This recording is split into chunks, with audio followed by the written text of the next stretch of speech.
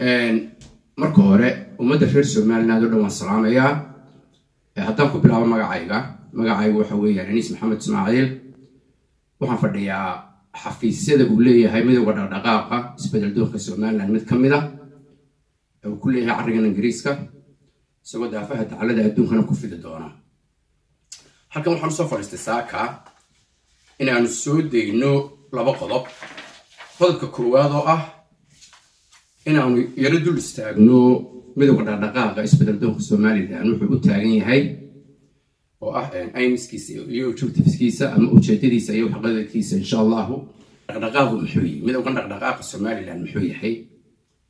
Iyo ujeedada loo abuuray oo kooban oo qodobo ah ayaan insha allahu ummadda la wadaagi doona reer somalilan midowga dhaqdhaqaaqa isbeddel doonka somalilan waxaa laga curiyey carrigan ingiriiska soddonkii bishii labayo tobnaad labadii kun iyo sideed iyo tobankii waxaana loogu talagalay iyadoo laga duulayo inuu la yimaado waxa weeyaan ka shaqaynta danaha reer somaliland ee isbeddel doonka jecel.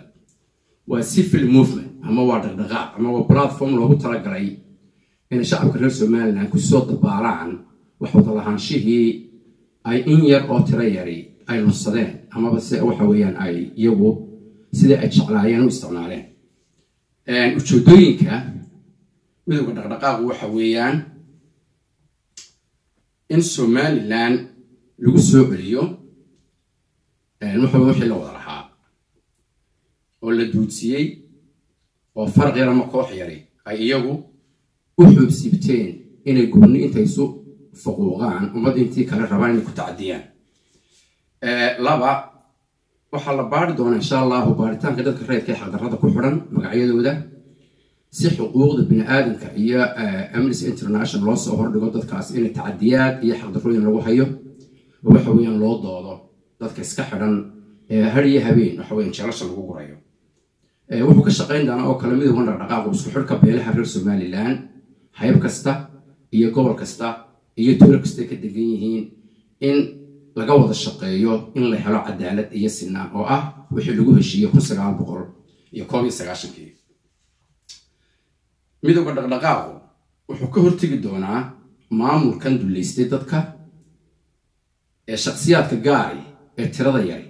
Ay rabaan inay ciddi marba iyagu jecel yihiin. U xidhaan wixii la wada lahaa qodobka shanaad wuxuu taageeri doonaa cid kasta oo diidan xaqdarrada tacaddiga kala qoqobka u adeegidda inay hirgasho isdhaafinta bulshada reer somalilan ku dhaqan oo ah fikir ama ideology ay dad gaari aaminsan yihiin oo ay magac iyagu gaara ula baxeen.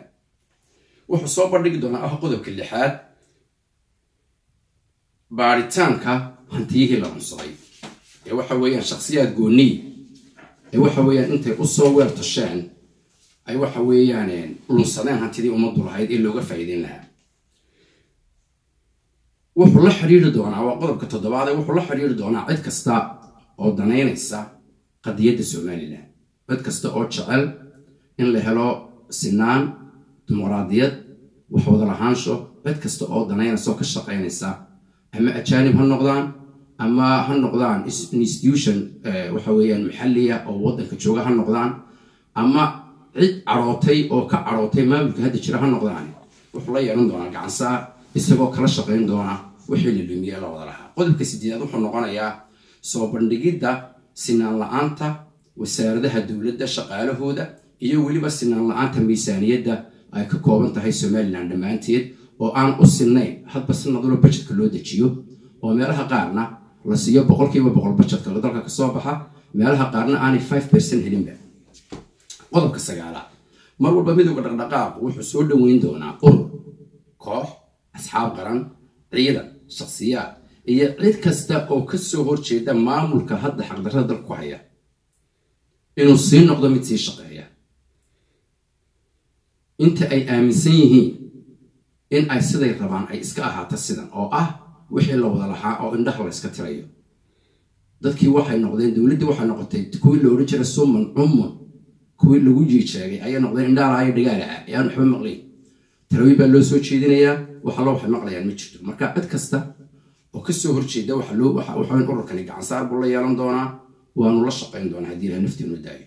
Qodobka tobnaad iyo ujeeddada midowga dhaqdhaqaaq wuxuu noqonayaa waxa wuxuu taageersan yahay go'aamadii ka soo baxay libaax ee waxa weeyaan lagu kulmisiiyey dhammaan beeraha reer somalilan ee laysla qaatay ee ka koobnaa sideedda qodob oo lix ka midi ay waxa weyan khaas u ahaayeen bulshada iyo dadka wada degan iyo shacabka somalilan inay helaan sinaan iyo cadaalad. Si loo soo afjaro hagardaamada iyo hadimada la dul taagan yahay waxa weeyaan jamhuuriyadda barakaysan ilahay nagu abuuray.